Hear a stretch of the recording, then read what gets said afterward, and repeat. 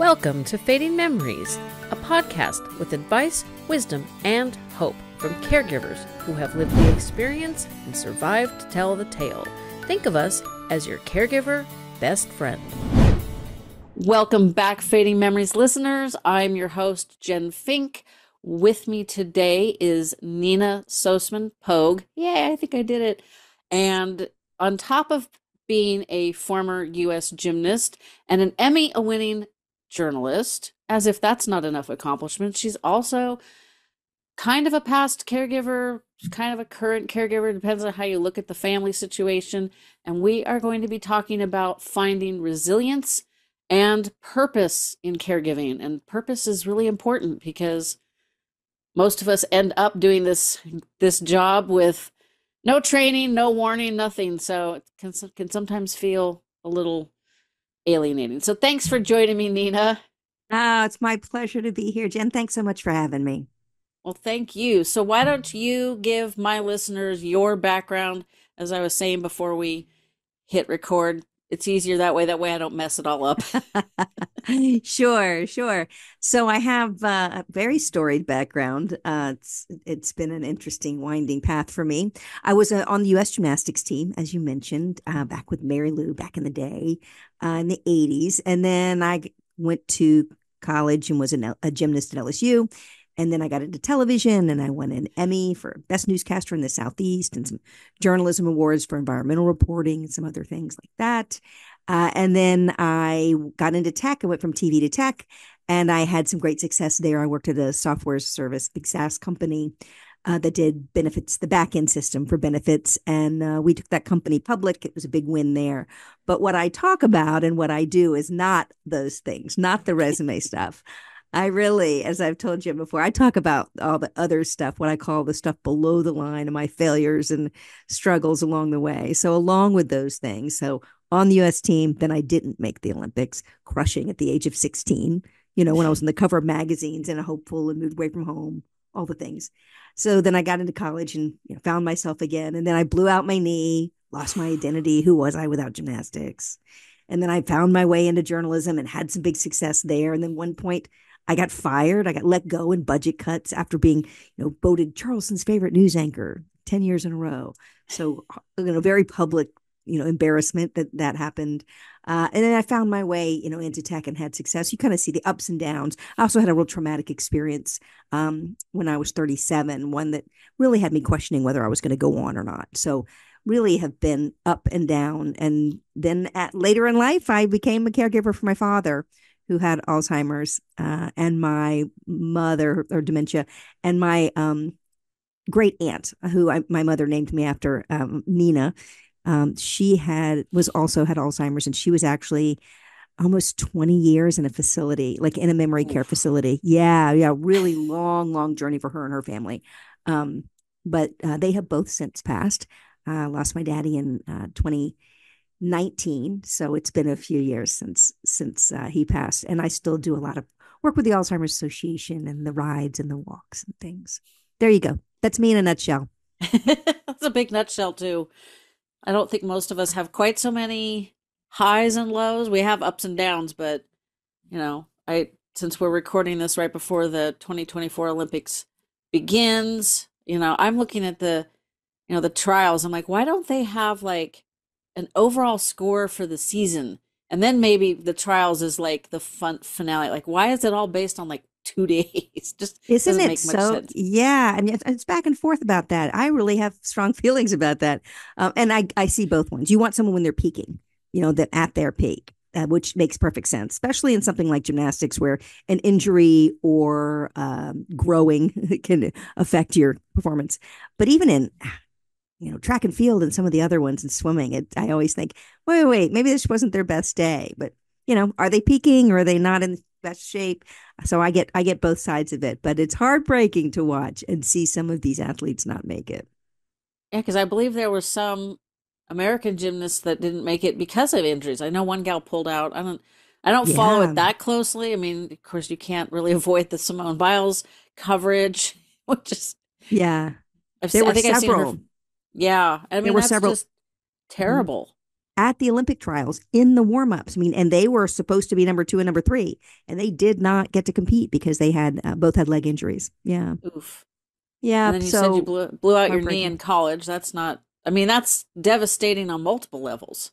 Well, it was difficult because I kind of found myself again after not making the Olympics and and trying to you know regroup and figure out who I was after moving away from home and as I said, like on the cover of magazines, when you don't make it, very public embarrassment. Like I was just ashamed. I thought it was such a loser. Didn't want to go back to my high school, like the 16 year old, 17 year old stuff.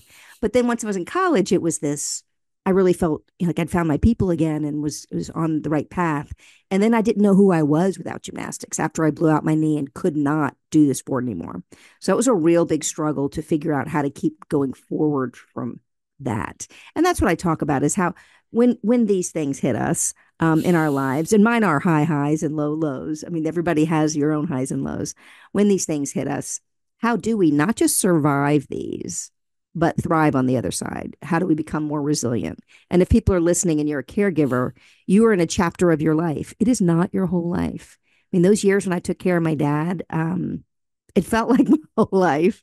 And uh, my mom was, you know, there too. I was one of one of his caregivers. We tag teamed a lot, uh, but it was it was um, a, a chapter of my life and a very difficult one.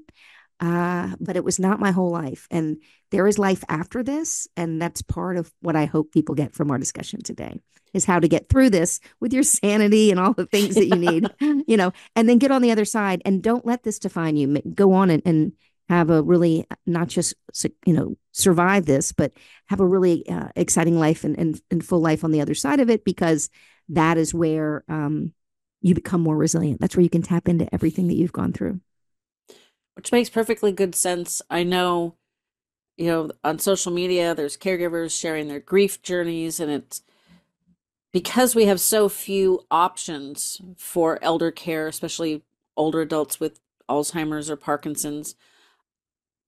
It becomes your whole life. I mean, if you can't afford a memory care community or, you know, quite a bit of paid in home help, you know, we've got far too many people leaving the workforce um, because they don't have a choice. And then your person dies, and you're like, well, okay, now what? And you're in your 40s, 50s, and maybe you would like to go back to work because you could use some money because you know it's you, know, Right. you haven't been you've been living on you know slim slim finances for a while to take care of your loved one. We know that caregivers spend about $850 a month out of their own pocket, which is difficult if you're not working. I'd certainly like to know how to come up with 850 with no income. Yeah. um so it's it's really tough and I I started my show because I needed better advice and inspiration than I could find online. Um, my mom, I started became responsible for my mom in 2017, and at that point, you did not share your loved one's care journey on social media. Absolutely, you know, you want to talk about cancel culture, that would have happened to you. You just would have been shunned off the internet. And I get it. Um, I didn't totally disagree, but I kind of felt like people needed to know. So I shared a little bit about my mom, but not as much as people started doing in 2020 when everything changed. Yes. and of course, my mom passed away at the start of the pandemic. So it was like, well, I don't have the everyday kind of thing to share. So it's been an interesting journey. And I did not think about what would happen with the podcast after her passing she was only 77. And because it was the pandemic, I didn't have anything else to do. So I just kept going. I'm glad you did. I'm sure your listeners really appreciate the fact that you did. Well, if you guys do, send me an email occasionally. It'd be nice to hear from people. Yeah, there we go. Help help her out, ladies and Yeah. gentlemen. That would be helpful. Yeah, because you do. It's very isolating. You know, I when I I was very fortunate. So I was a vice president in a tech company at the time when my father was diagnosed, um, and my mom's still living, but she was here in town. So I went to our leadership team when when it got to be a lot for my mom and she was getting no break, and I was worried about losing both of them because she was under so much stress and so you know angry and agitated and exhausted all the time um, I was worried about losing both of them. So I said, You've got to give me some, you know, we got to tag team this. So I went to my leadership team and I said, I'm not going to work on Thursdays and I'm going to be off the charts on, I'm, I'm going to be offline on Saturdays as well. Cause we, you know, in, most companies now, you're at that level expected to kind of be on all the time. And so they were real supportive. I did an FMLA and I put it in as a Family Medical Leave Act and I used that to be able to step away. And I just didn't work on Thursdays and Saturdays. And I could get emails and stuff on Thursday and I would check on occasion because I was there with him. But it gave my mom a chance to go one to a support group, which I had to take her to pushing and, and shoving and did not want to go, kicking and screaming, I guess they call it. Uh, but yes, very hopeful for her. Uh, and really special time for me and my dad, you know, to just spend time together. So did that for about three years, about two and a half, three years. Um, and I would and the other days I would work out early in the morning, right near when he got into memory care year, later at the last year or so. Um, I would work out early in the morning and then be there when he got up to have coffee with him, you know, every morning and spend some time with him. Um, and he knew who I was right up to the end, which I thought was such a blessing. Because as I was saying, my Aunt Nina spent almost 20 years in a facility and didn't remember her people at all. And my cousins, she had four girls and a boy. Her, those four girls had a really tough time with that. It was it was very different. So that's my my journey in that. I really do encourage people to do have a plan for after. Um, you forget when you're in the middle of it. It feels like it's everything and like life's never going to be normal or happy again. You really do. Like it's hard oh, to I, picture. I, I agree. And my my dad passed away March second, 2017. We moved my mom to memory care March 16th. And his funeral was March 18th. So you know, a lot of people are like, oh my gosh, heartless. I actually really wish we'd moved her to memory care while he was on hospice because her being home with him, I don't think helped anybody. Um, they kind of had a contentious relationship and she didn't understand. I, you know, you know, things are different in your world when the hospice team tells you they enjoy that you're, um, dark sense of humor. And it's like, um, is that a compliment? I'm not so sure that's a compliment. but there was one day my dad was just being just a feisty old cougar with his um, caregivers, the in home caregivers we had while he was on hospice. And I stepped in to kind of try to diffuse things, didn't work. My husband and I were in the kitchen, heads together, talking quietly to each other. My mom popped her head between the two of us and she goes, you should just go in there and tell him to drop dead. I was like, oh my oh, lord. Oh, that's so crass. They just say anything now. There's just no filter. There's no filter. Well, she had no clue that he was dying. So right. she had zero clue. He was right. just being his normal, you know, crotchety self. and it was just like, oh my lord. You know, it's just like you want to laugh, you want to cry. It's just like, God forbid. So, yeah. you know, my mom was in memory care, but and you you're probably aware of this, that does not relieve you of the stress and the burden and all those feelings it just lessens it some you know you're you're Correct. you're not the 24/7 person other than emotionally and somewhat intellectually i think cuz you know you're i always called myself the captain of mom's care team. Like i was in charge of my mother making sure things went right but there was the caregivers from the community that were helping her and we all worked pretty well together. Um, they didn't like to call me before my visits. They would wait till we were coming back in and they'd be like, Oh, your mama needs toilet paper. Your mama needs, I'm like, you couldn't have told me that. Like, we just passed the CVS, okay?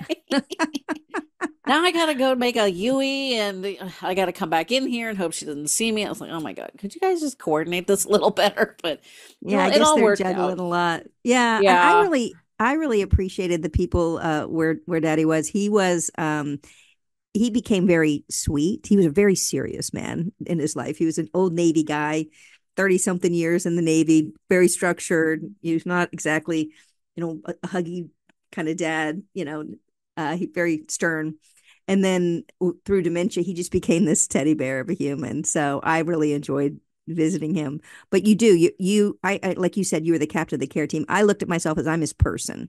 You know, mom, mom was his his wife and there for him, but somebody had to kind of run the ship and take care of things when when it got when it got um you know keep things moving forward and just have a, a, a, sturdy rock that they could lean on. So if he fell in the night, I was the one that called, met the met the ambulance, the emergency room, which happened several times. Uh, or if something else, you know, were to go wrong, it was usually me. And it was nice to be able to spare my mother, who was the same age as my dad. She was 85 at the time. Um, she's 90 now and healthy and has a wonderful brain. I'm so hoping that part of me goes in that direction.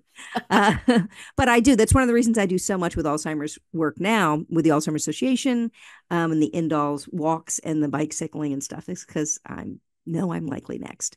I'm 57. There's just a matter of time before you know this happens to me as well and i'm very aware of the you know the the foods and the drugs and the things that you can do to try to keep that at bay.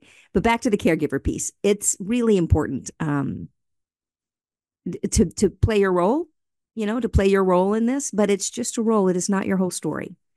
It's just a part of who you are. It's you can't let it become everything that you are and lose yourself which i think some people it's very easy to do becomes your because because it comes the full-time job Mm-hmm. Yeah, through I think through lack of choices and options, and right. everybody's personalities are different. You know, when you have to step away from the workforce because you don't have, you know, enough caregivers, money, etc., in your corner, right. it does become your whole life. Oh, I For was me, very fortunate. I, I kind of felt like, um, I mean, I never verbalized that I was the captain of the care team to the staff where mom lived because I just kind of felt like it was obvious. But I really felt like sometimes they forgot I was the daughter. I was just like the one that had to get things done. And it was, and they understandably to a point forgot that I had my own responsibilities. I had my own photography studio to run, clients to deal with. And, you know, that when you're creating beautiful family portraits for clients, you can't be having somebody calling you and saying, "Well, mom's refusing to go to the hair salon with the hair gal," and or mom's this, and, you know, it's like just leave me the hell alone. You know, it's like right. You really get sucked in. So, how would you counsel my listeners to keep some things at like maybe an arm's length? You know, keep things for yourself so that you're not 110% caregiving and then when your person is gone now you're just adrift in the world trying to figure out like where who am i? What am i supposed to be doing now? Because that's very difficult when you're grieving. It's very difficult and and and that's the word grieving is is the key to that. Everybody grieves at different rates so you have to take care of you. I mean the amount of time it takes you to step back into the world is totally up to you. Everybody's different um, and you have to go through the stages of grief and you know all of that back and forth over and over until you get to this level of acceptance and go okay wow this is my life. What now? And the what now piece is what i really have spent a lot of time on in any situation and in this one it works just the same. And i would encourage anyone to um, put it in I, I, call it this whatever your this is. So for all of your listeners this is being a caregiver. It is this thing that you wake up with and have to do every day and it fills up all your time and energy and you go to bed at night and you're still thinking about it. Like it just takes up all the space in, in your brain. So i encourage people to you know take out a piece of paper and draw a horizontal line across it. Do it horizontally and draw a line across it and put zero at one end and a hundred on the other. And this is your piece of paper not your parents or your persons you're taking care of and put the dots there and figure out where you are. If like 10, 20, 30, 40, 50, all the way up to 100. Put 10 dots on that page across that timeline. And you can put a dot in where you are right now. So I was in my 50s when I was taking care of my dad. It was early 50s. So I could put a dot right there and go, oh, look, I'm in the middle. I'm right here at 50. And these five or six years in the middle there, um, with this, you know, just a dot on that line and not my whole big, messy, marvelous life with the highs and lows. It was just a dot right there. And by doing that, you can kind of shrink it down and put it in perspective of it's part of my life, not my whole life. And I encourage people to put all your other stuff, all the stuff you did before on that line too. Like put something, got married, got divorced, did the, like whatever it is. Just put all your stuff on the line so you can see what your life looks like, places you lived, when you had children, whatever. Place, you know, careers. Anyway, that's the, the first piece. That's the T. That's the timeline. So drop the this that you're dealing with into the timeline and then put a line on each side of it and you have to kind of do this in your head. You can't go back to the back. I wish I had, I woulda, coulda, shoulda. Because any good therapist will tell you if you're spending all your time in the woulda, shouldas, that's where depression lives. If you spend all your time thinking about the past. And then you have a line on the other side of it too, because if you spend all your time in the what ifs and everything's ruined and doomsday scenarios, then that's where anxiety lives. So you have this kind of magical little lines on both sides, like you're right here at this dot, and now is the only thing you have control over, not the anxiety, not the depression, not the anxiety. And then I have people draw a circle around it, and I say, okay, who's in this with you? because people who get success, they don't go it alone. So when you draw a circle around it, you can pull in people like if you feel really alone in it, we all feel very alone in whatever this is that we're dealing with. You have to pull some people in to support you. And maybe you have to edit some people out who are not helping. You can take all the people in your life and go, these are helping, these are not. And you have to edit those people uh, when you hit a big this. And then the last part is that the, the, the tips. That's T I P, P is people. And then the S is story. And what is the story that you are creating here? It's the words in your head that come out of your mouth that become your story.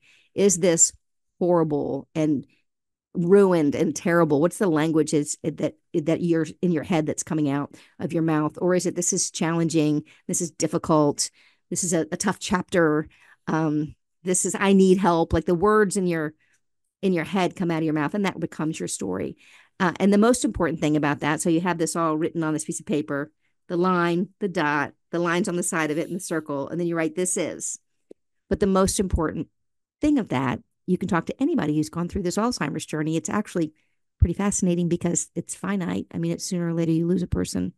Um, and you can block off how many years that was. And it's not your whole life. It's a section of time in your big giant lifetime. It is not your whole life. And people get stuck there because it's hard to get out of. But yeah. once you, yeah, you know, but once you can look at it that way and go, wait, I've got 30 years ahead of me or 25 however many years you have i mean for me i'm, I'm hoping i have 40 years ahead of me i'd like to break the curve and live to be in my 90s like my mother um, but i have all these years what am i going to do with those and then you can start to imagine what life's going to look like five years from now not where you are right now but what will life look like five years from now and then you can do one thing today that the you five years from now is going to be happy you did Maybe it's in that downtime you're reading certain books or you're, you know, cooking your favorite meal or you're stretching on the floor, whatever it is to bring you a little, you know, that little bit of you sit in chairs for a long time. I found that. I'm like, anytime I could like crawl on the floor and stretch and move my body, it was like the weirdest thing. But you know, what can you do? Just one thing right now to take care of you. So five years from now, you still have you. Yeah. Yeah. I like that you pointed out stretching because my what I was going to say is five years from now you is going to really appreciate that you uh, you know went to your annual wellness checkups and you know i kind of advocate for general physicians need to learn how to basically do both at once like take care of your dad and you and yeah. or me and my mom because getting out of the house to take somebody with alzheimer's to the doctor is very difficult. but very getting your, difficult. Yeah, but getting yourself out of the house without them is equally as difficult. Mm-hmm. and none of us wants to take that difficult challenge and go to the doctor. Like, you know, you're gonna you're go, exhausted. You're yeah, exhausted. Like, oh, yeah. You know, and then they ask you how you, or your blood pressure's up and they're ragging you about your blood pressure. It's like, duh. Yeah. It's like, you want well, to live my life? and it was, you know, like, you know, climbing Mount Everest to get here. So yeah, I'm sure my blood pressure's up. Yes. Um, what other five year things should we do? You know, eating yeah. healthy, just little things. You feel so much mm-hmm. better when you eat right, but I do yeah. 10 minute full body stretches every day.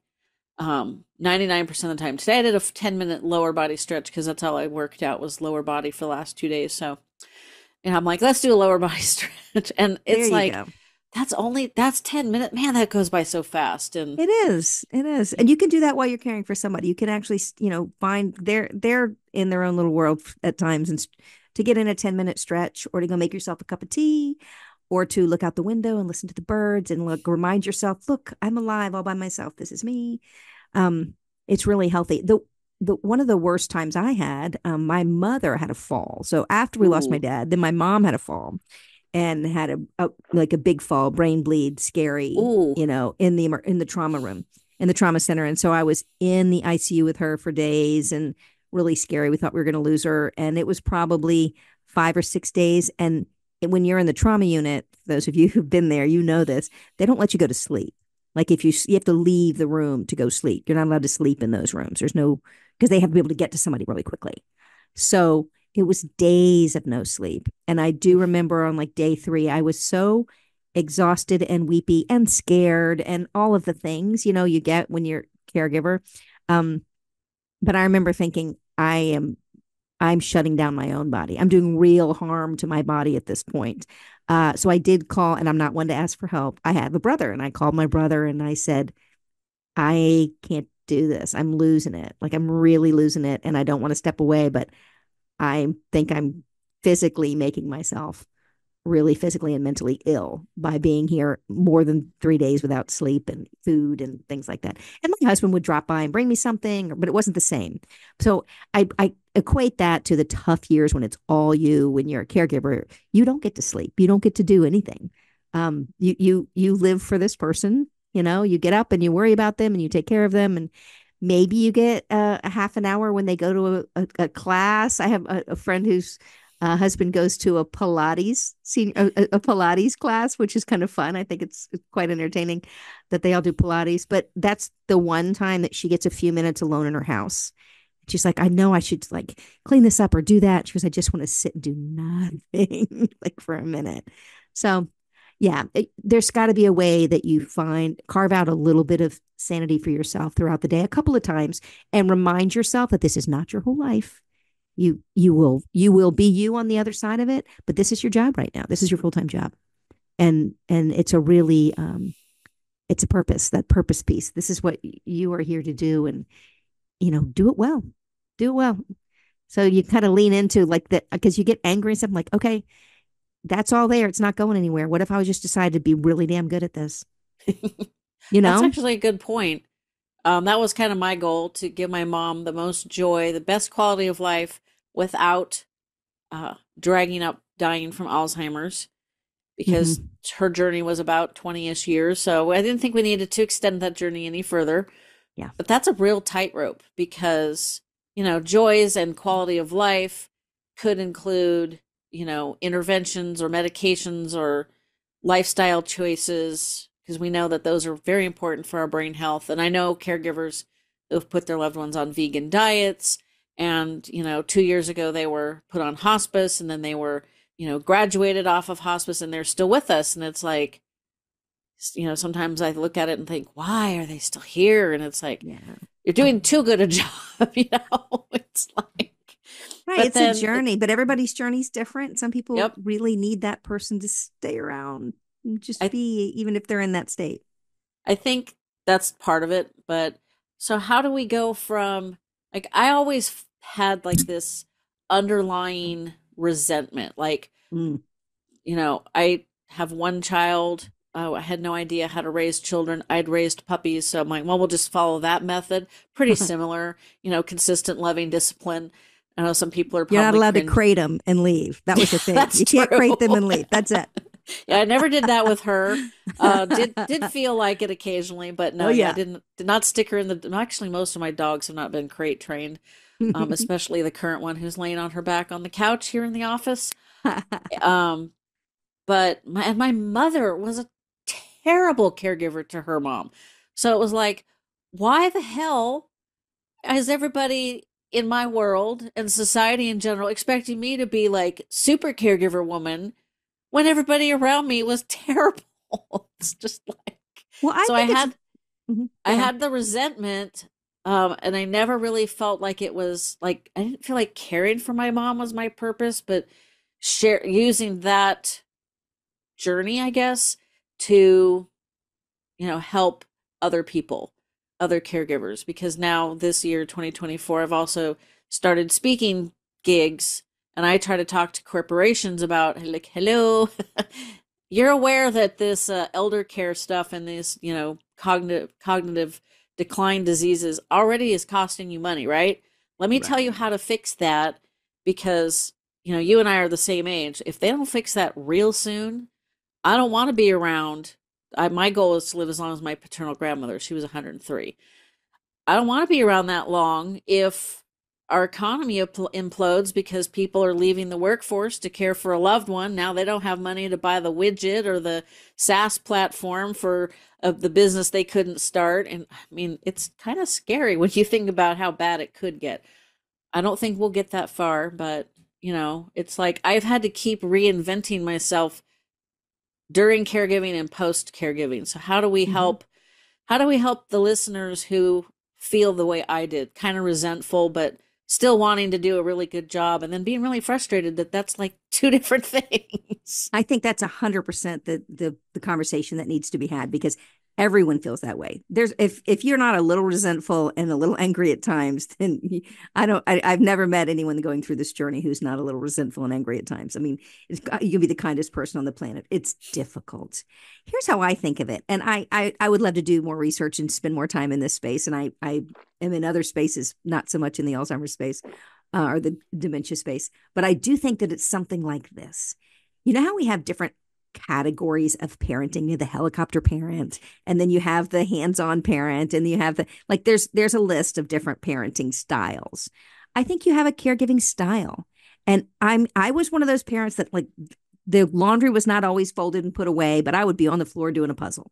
And I was one of those parents that I didn't do fancy dinners and vegan stuff, but they always were fed and we were doing fun things and we were learning and trying scientific experiments with our food. It wasn't fancy food, but we, you know, learn about it, why it was cooking.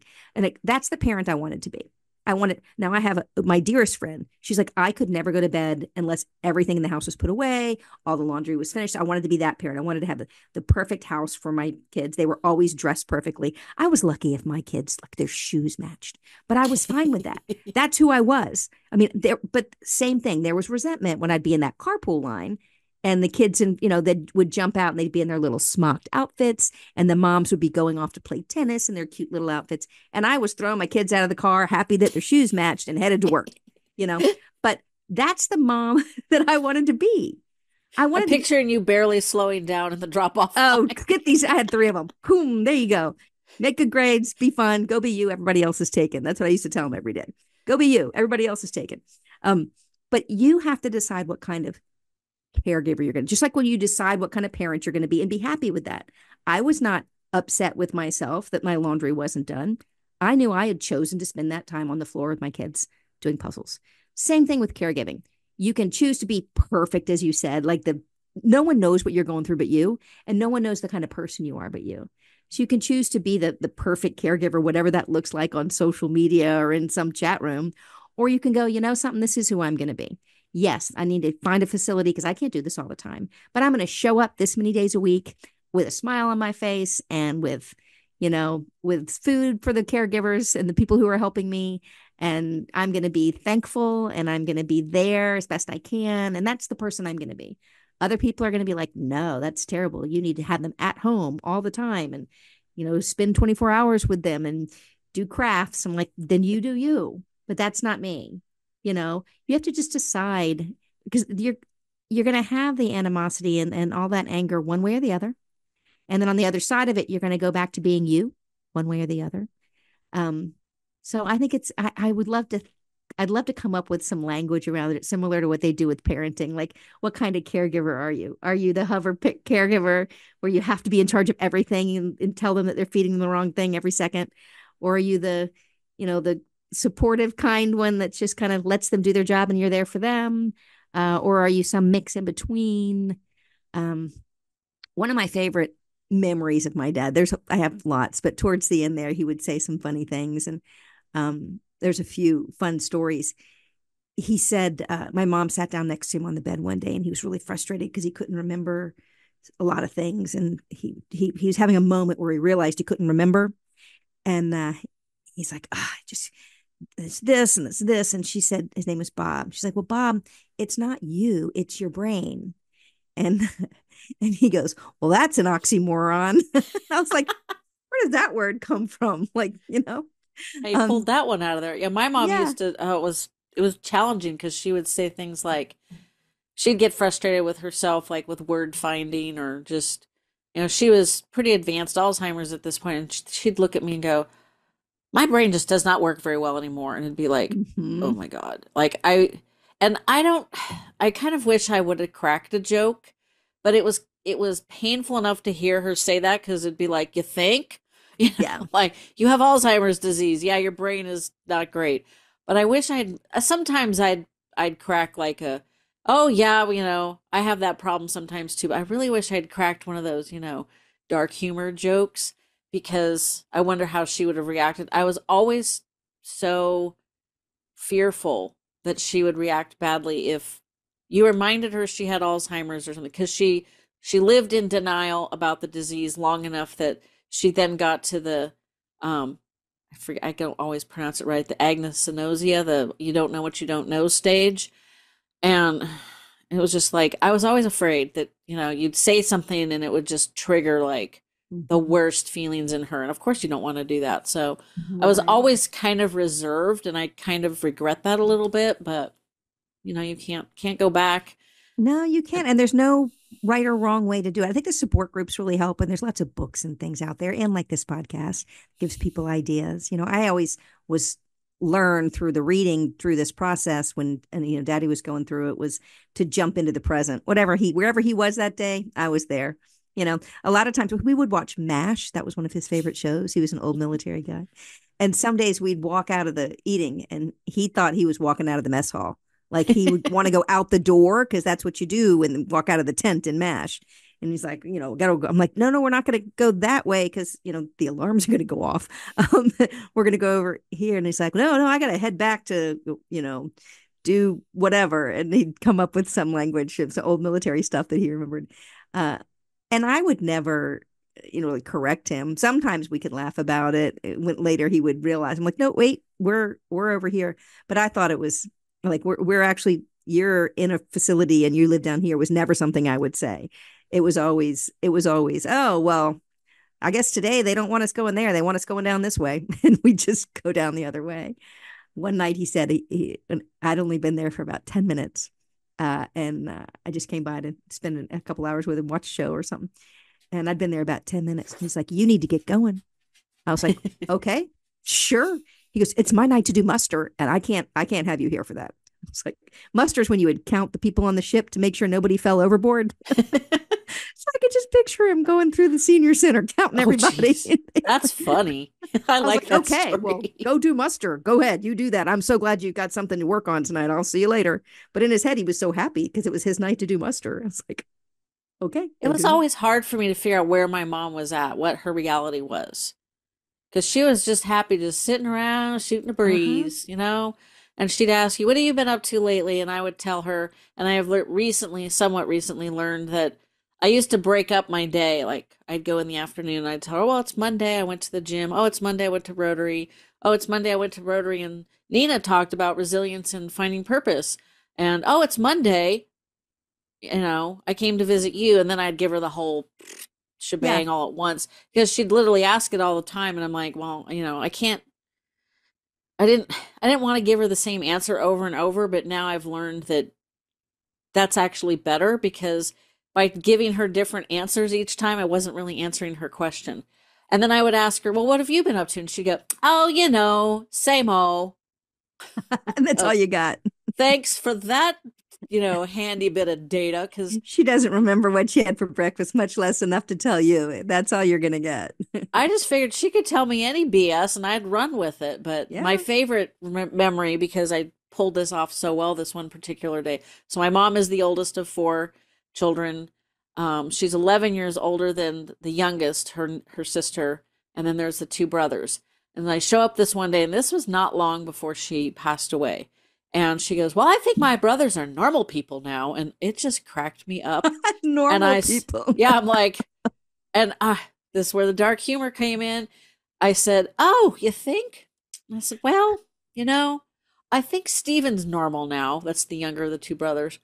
Uh, but Richard, yeah, no, I. I, I think there's Did a lot ask- of Yeah. Did you ask her what normal meant?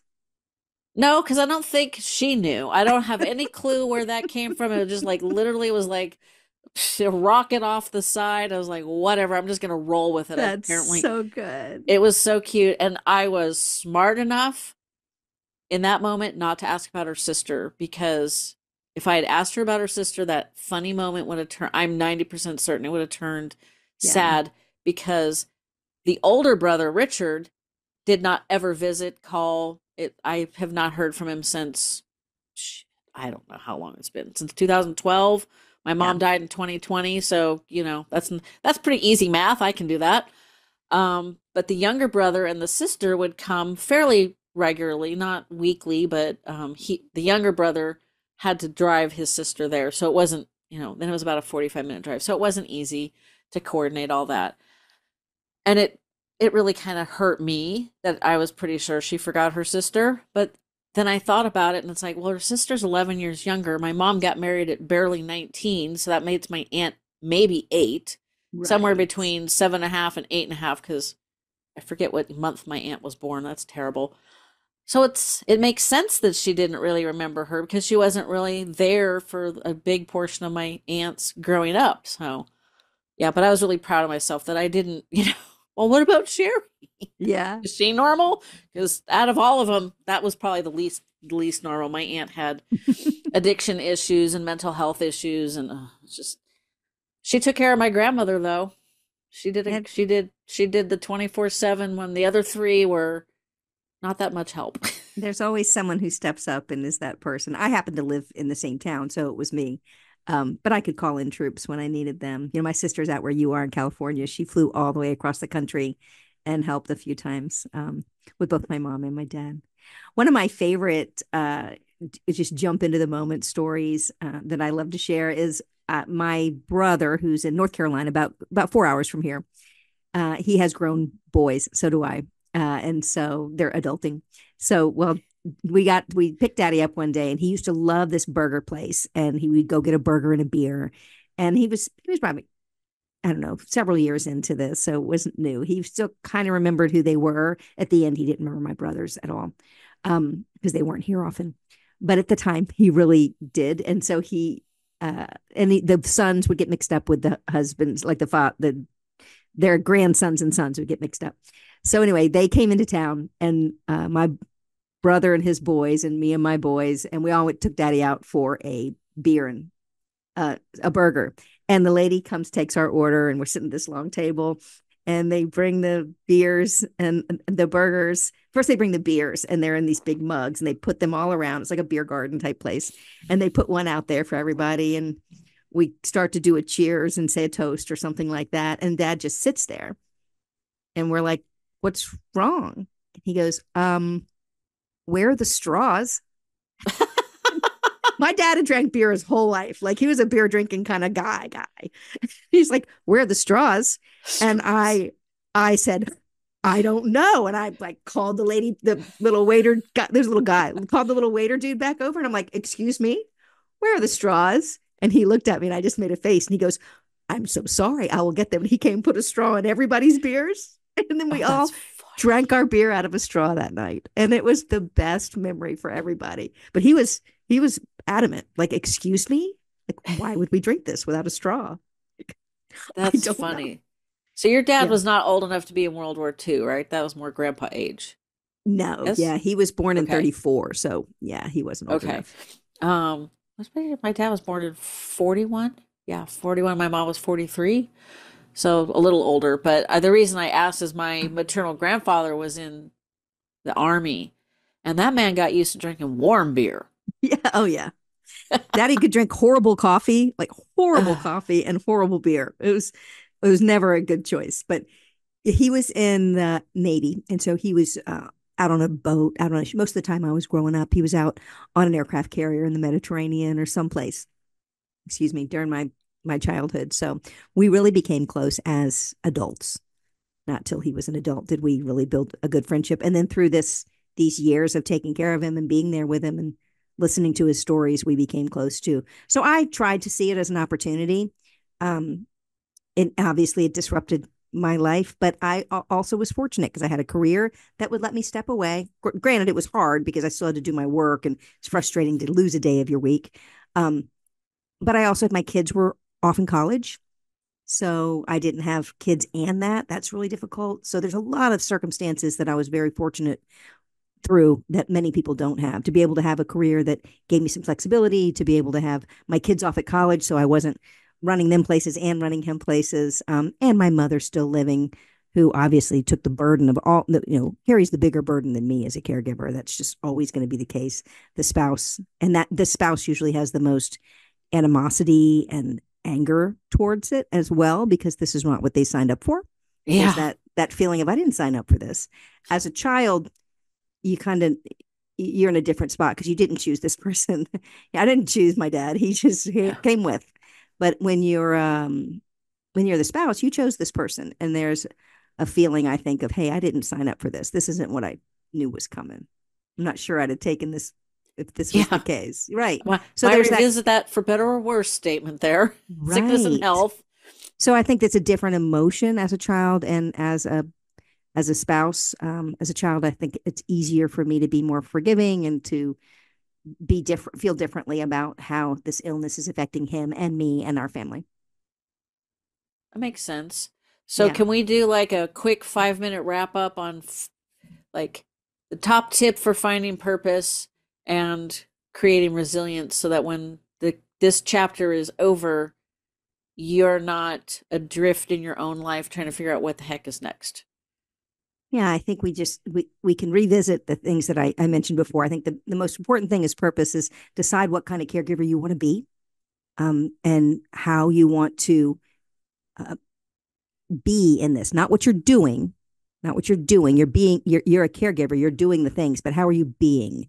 How, how do you want to be? What are the values? You want to be kind? Do you want to be what something that can be your guiding principle as you go through this?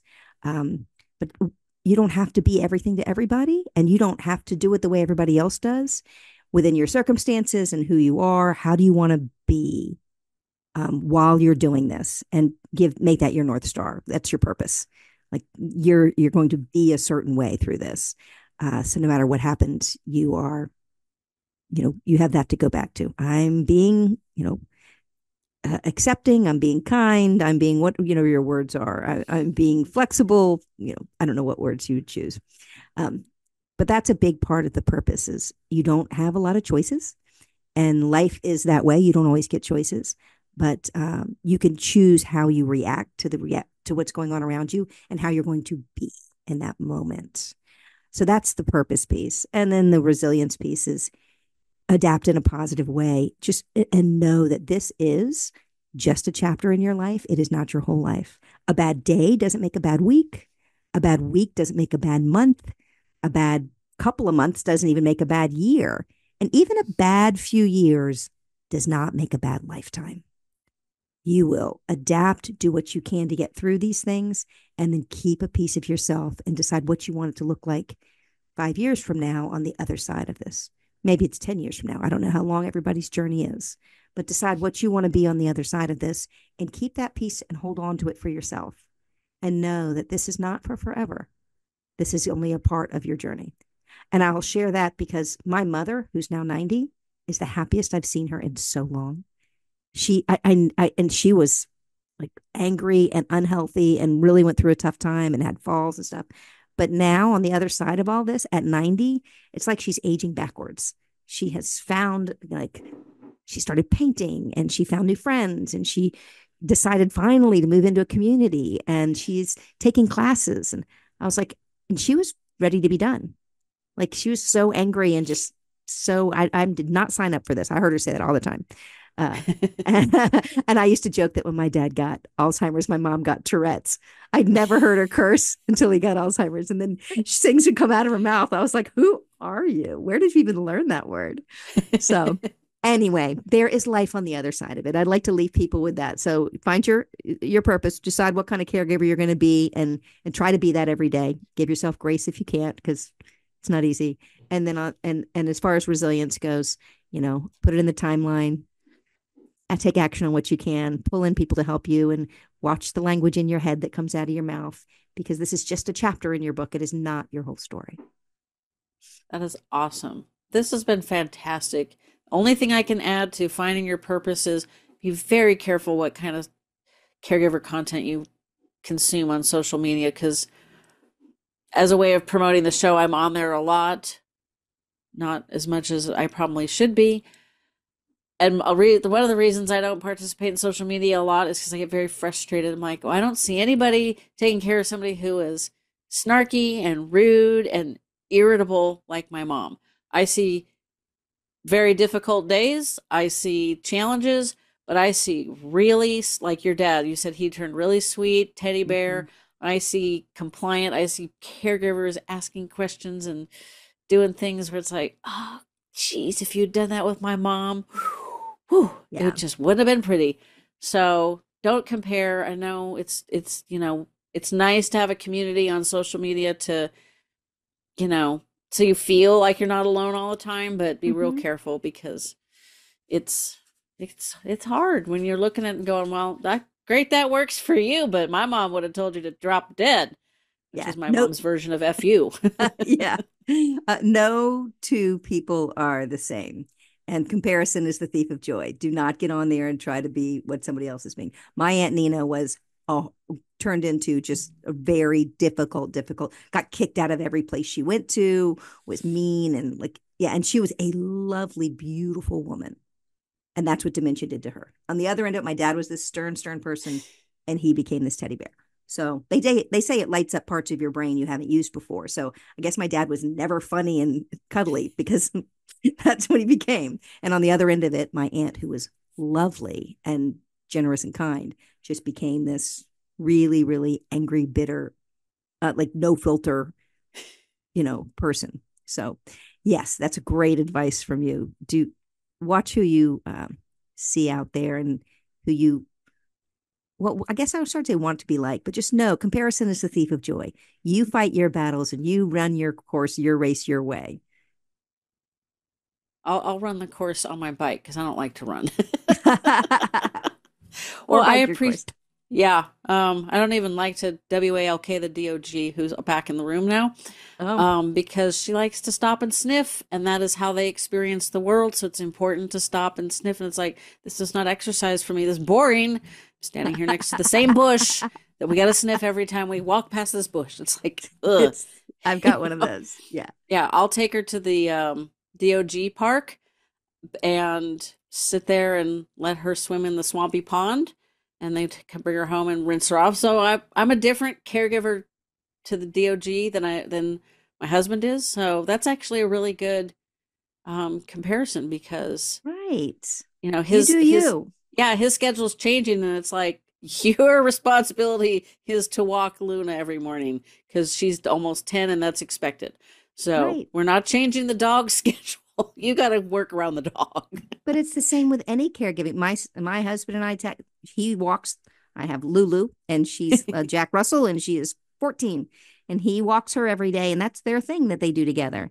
And then she's with me here in my podcast booth or in my office, and she's with me all day long. And I do not walk. We go outside and sniff and pee, and I let her run around a little bit. But for the most part, she just snuggles with me and hangs out. That's our relationship. That's my way of caregiving for her. I don't want to spend an hour of my day walking her, you know, so he does that. Anyway, it, it's just all the same. What kind of, I don't feel bad that I'm not the walking kind of parent. It's not who I am. Um, like you, it makes me, it annoys me to have to keep stopping. If I'm yeah. going to be out there, I want to get a workout in. Yeah. Uh, so exactly. anyway, you choose the kind of dog walker you want to be, the kind of parent you want to be, and the kind of caregiver you want to be. We're all different, and all of our dogs and all of our people are different too. So that, that is very true. So I forgot to mention at the top of the show that you also are a podcaster. I mean, is there anything you don't do? what is the name of your show? Well, my podcast, which is in hiatus right now, but there's some good episodes out there, and we're going to bring it back at the end of August. It's called This Seriously Sucks The Right Podcast When Life Goes Seriously Wrong. And we talk to people who've been through life changing events in their lives. Um, 10 years post event. I have everybody talk from their scars, not their wounds. So anybody who's 10 years past a big life altering event, they share how they got through it, uh, the things that work for them and and how other people may be able to look at the the trauma or the or the challenges in their lives in new ways. So, and then my book for anybody who's going through a really difficult time is This is not the end. Strategies to get you through the worst chapters of your life and it may be really good for caregivers. I, I do believe, I haven't really thought about it in this space as much, but I do believe it would be helpful because it helps you go through any difficult time and any really tough time where you feel like you just can't go on. The book is designed, it's a story for you, not for me, to get you through the really tough time. So this is not the end. Awesome. And as listener, regular listeners know, both of those will be linked in the show notes. And I will so- circle back to you in five and a half years when I'm 10 years post God, that is 2030. Ugh. That's okay. We're both going to be around and we're going to be yeah. healthy and take care of ourselves and our brains. Just why does that feel like so far in the distance and it's not? Oh, I know, right? So are you We're going to be cel- there. Yeah, are you celebrating a 40th class reunion this year as well? I don't even know. I haven't kept up. How bad is that? But yeah, it would be 40 this year. We're the same age. I was in 1966. I was born. I'm 57. So this would be our 40th. 85. When I graduate in 85 next year. Oh, next year. Okay. My, my next year. My reunion is this year. So um, I guess I squeaked in a little bit earlier than you. But I was born at the end of 66. I don't know how they managed that, but that's okay. Yeah, I was December 66. So. Oh, that's how. Oh, man, we really are the same age. Yeah, that's wild. that is wild. I'm glad we found each other. Me too. And one of these days I'll get to South Carolina talking to some HR execs and some COOs and we'll we'll get all connected. I would love that. Thanks so much for having me on today too. This conversation's been really fun. Wonderful. Thanks so much. Fading Memories is also available wherever you get your podcasts.